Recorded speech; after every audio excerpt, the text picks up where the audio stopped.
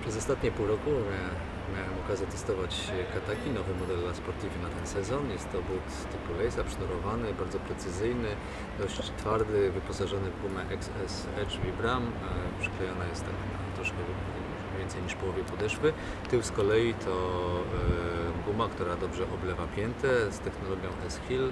Tutaj mamy taki dodatkowy kawałek e, gumy, który powoduje całość tej pięty powoduje, że but nie przesuwa się podczas haczenia. E, technologia P3 dodaje kształtu i trzyma ten kształt e, przez, przez, przez miesiące wspomnienia użytkowania. E, fajną rzeczą w tym bucie jest, który zapewnia bardzo duży komfort i dopasowanie, jest taki szeroki język, a w zasadzie część cholewki, która jest tutaj z nią połączona, zintegrowana, powoduje, że po założeniu buta but szybko szczelnie opina stopę.